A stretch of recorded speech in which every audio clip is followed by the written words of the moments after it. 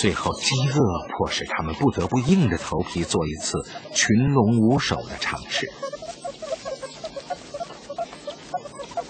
在深深的泥土城堡中，刚产下婴儿的雌性首领好不容易有了闲暇的时光，他感到十分惬意。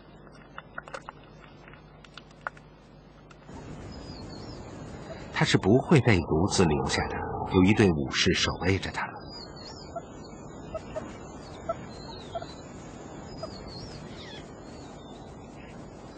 看守和孵蛋是雄鸵鸟的职责，但他现在还忙着求爱。猛禽不失时机地钻了这个热情过剩的雄鸵鸟的空子。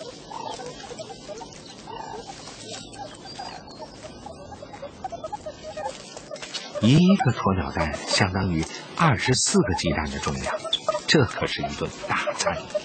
但是当前的问题是，如果打不开蛋壳，一切都是白搭。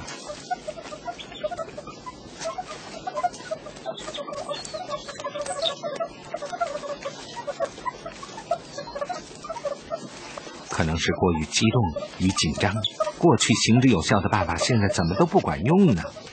实际上是鸵鸟蛋太大了，猛根本无法把它挪动。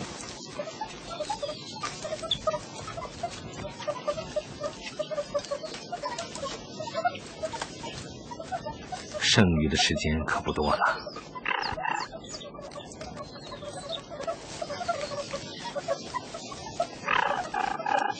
没有时间了，一只愤怒的鸵鸟的踢打可不是猛能够应付的。不过鸵鸟可以庆幸的是，蛋没有一个被打破。这一次猛空欢喜了一场。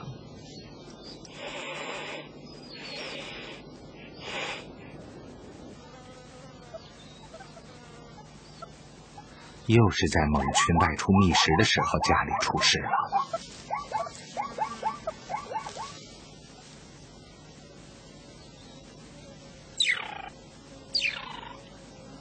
站岗放哨的卫兵发现了什么事儿，有些不对。这不是自己的猛群。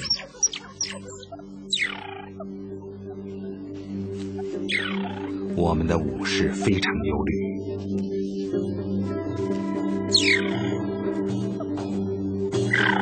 侵入别人领地的猛犬不会是友好的。果不其然，进攻很快就开始了。